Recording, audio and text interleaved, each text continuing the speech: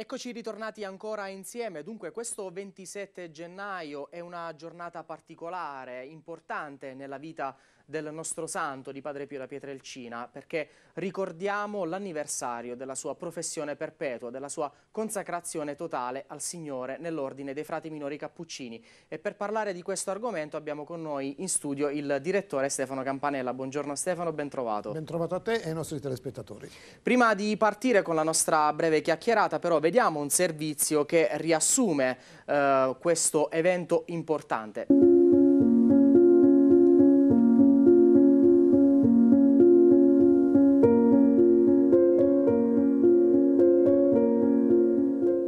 Con Padre Pio dal coro, dal coro della chiesetta antica di Santa Maria delle Grazie, il luogo dove il 20 settembre del 1918 eh, Padre Pio da Pietrelcina ricevette le stimmate, indossava questo saio. E dell'importanza di questo saio oggi vogliamo parlarvi perché Padre Pio, anzi Fra Pio da Pietrelcina, aveva 19 anni e 8 mesi, eh, si trovava nel convento dei frati minori cappuccini di Sant'Elia Pianisi, siamo nel Molise, dove nel suo iter eh, formativo continuava i suoi studi ed il 27 di gennaio del 1907 eh, il giovane Fra da Pietrelcina eh, fa la sua professione solenne, dice sì eh, per sempre a Cristo e diventa frate per tutta la vita promettendo i voti di castità, obbedienza e povertà. Ed infatti a Sant'Elia Pianisi si custodisce il documento olografo, dove lo stesso Pio da Pietrelcina, ehm, sul registro delle professioni solenni,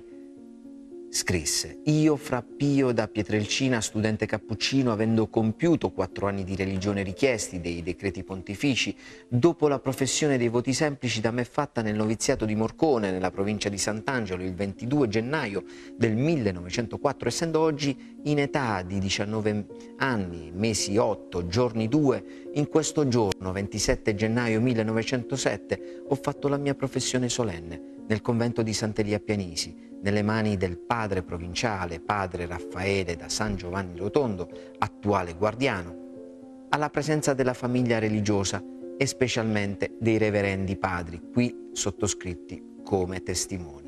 Dichiaro poi che questa solenne professione è stata fatta di mia libera volontà e perciò mi considero quindi innanzi come legato per sempre ai voti dell'ordine dei Cappuccini sotto la regola del serafico padre San Francesco e solo ed unico fine di attendere al bene dell'anima mia e di dedicarmi interamente al servizio di Dio. In fede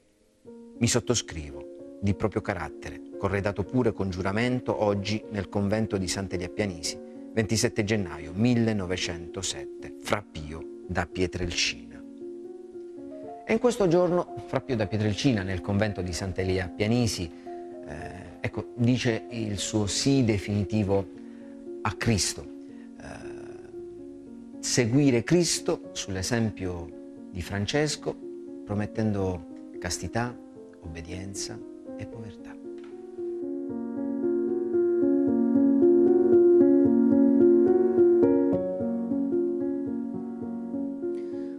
Dire che il mese di gennaio, Stefano, è un mese spartiacque per la vita di Francesco Forgione e di Fra Pio da Pietrelcina poi, come abbiamo ascoltato dal servizio di Francesco, perché pochi giorni fa abbiamo ricordato ecco, un altro evento importante a Morcone, la vestizione di eh, Padre Pio e oggi ricordiamo proprio la sua professione solenne. Voglio ricordare una data, 25 gennaio 1904, che è poi la data in cui Padre Pio, Fra Pio, si è trasferito proprio da Morcone a Sant'Elia Pianisi, che è in Molise, per iniziare ecco, la preparazione poi alla professione solenne. A gennaio Padre Pio con la vestizione il 22 del 1903 oltre a vestire per la prima volta l'abito cappuccino, eh, cessa di essere Francesco Forgione perché nella circostanza assume il nuovo nome di Fra Pio da Pietrelcina. Eh, a gennaio fa la professione cosiddetta semplice o temporanea per tre anni e il 27 gennaio eh, a Sant'Ilia Pianisi fa quella cosiddetta solenne o definitiva perpetua.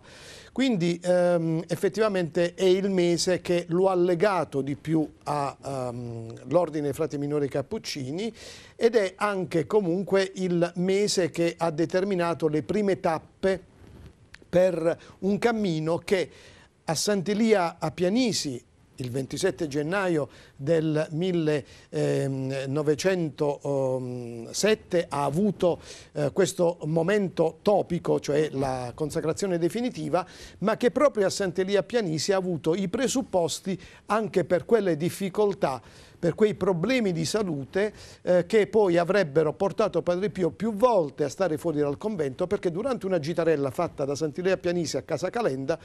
eh, lui con altri studenti eh, furono sorpresi da un acquazzone in seguito al quale cominciarono tanti di quei problemi di salute che eh, Padre Pio dovette addirittura rischiare l'exclaustrazione, cioè di eh, venire buttato fuori dall'ordine dei Cappuccini. Ecco, che periodo è stato per Padre Pio tra, appunto, come dicevo prima, il 1904 e poi questo 27 gennaio 1907?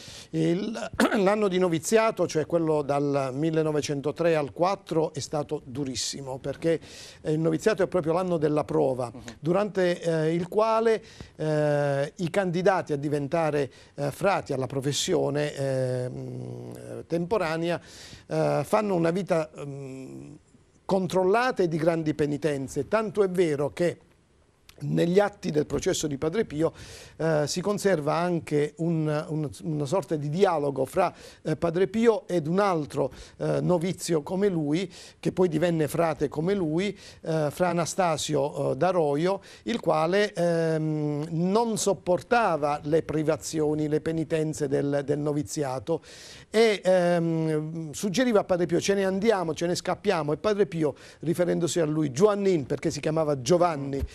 Ehm, il, fra Anastasio prima di diventare appunto frate. Giovanni, abbiamo fatto tanto per eh, entrare in convento e adesso ce ne vogliamo andare per un po' di penitenza. Ma fu un anno così duro che eh, partirono in tanti e soltanto tre arrivarono alla meta eh, della professione eh, perpetua. Quindi eh, davvero all'epoca era duro il noviziato ed era un anno di prova vera e propria per mettere veramente in difficoltà eh, la eh, vocazione per capire se era una reale vocazione mhm. oppure se era eh, un, una sorta di rifugio, perché all'epoca tanti si rifugiavano in convento perché a casa non c'era il pane neppure certo. per sfamare tutte le bocche presenti in famiglia. E a Sant'Elia Padre Pio conosce una figura di cappuccino esemplare, il monaco santo, ecco, è, stato, è ricordato ancora oggi così, padre Raffaele da Sant'Elia Pianisi che è venuto a mancare pochi anni prima del suo arrivo eh, a Sant'Elia Pianisi. E Padre Pio scrive eh, delle parole bellissime, non l'ho mai conosciuto di persona, però eh, diciamo il, la sua presenza si sentiva nelle stanze del convento, anima candida ed eletta di Padre Raffaele. Che influenza ha avuto questo monaco santo nella vita di Padre Pio? Sicuramente notevole, perché la santità di vita di Padre Raffaele, oggi riconosciuta dal decreto sull'erocità della virtù, per cui Padre Raffaele è venerabile, ma all'epoca era la cosiddetta vox populi, per cui tante persone di Sant'Elia che eh,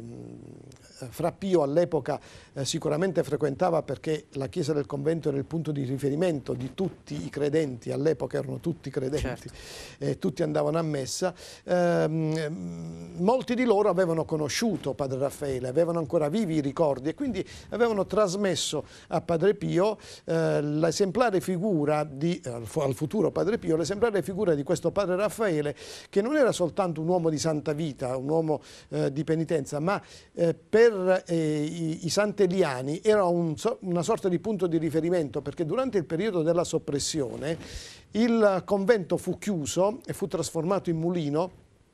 e alcune stanze furono lasciate ai frati, o meglio al frate, uh -huh. eh, e per concessione straordinaria solo a lui, a Padre Raffaele, perché anche le autorità politiche riconoscevano in lui un uomo saggio e santo, eh, lui poté presidiare il convento, a differenza di quello che è accaduto in tutti gli altri conventi della provincia, e mantenere viva la presenza cappuccina a Sant'Elia. Quindi sicuramente una figura che ha influito parecchio sulla formazione del futuro, del futuro Padre Pio. A Sant'Elia però mh, nasce anche quella che è stata definita la cosiddetta vocazione missionaria di Padre Pio. Quel, in quel periodo Padre Pio, ecco, ci sono i primi aneliti alla missione, sappiamo che poi per i motivi di salute, ecco, Padre Pio non ha potuto ottemperare a questo desiderio. Sì, in effetti eh, in quella circostanza eh, poté incontrare il ministro generale dell'epoca ed esprimere il suo desiderio. Chiaramente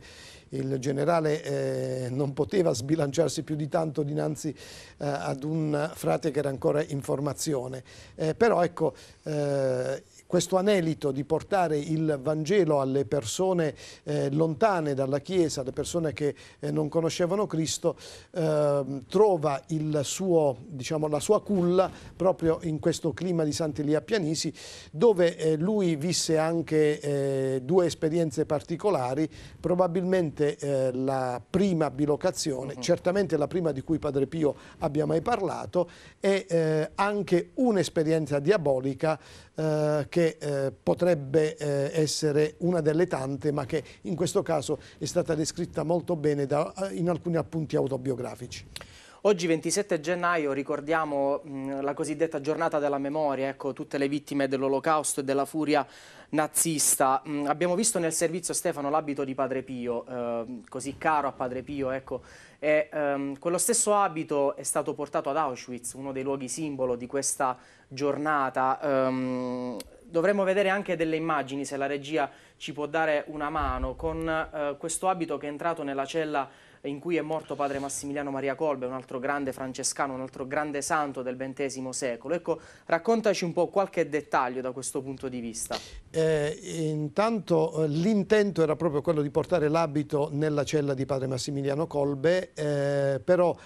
le dimensioni della cella di Colbe erano così piccole eh, che ecco, eh, ecco, non, non, non, lo hanno consentito. Quindi eh, questo gruppo di frati, questa delegazione, ha portato l'abito ehm, all'interno del complesso di Auschwitz e come state vedendo lo ha appoggiato accanto alla finestrella minuscola di quella cella che era peraltro sotterranea. Quindi questa ehm, finestra era mh, in alto eh, rispetto alla, alla cella cella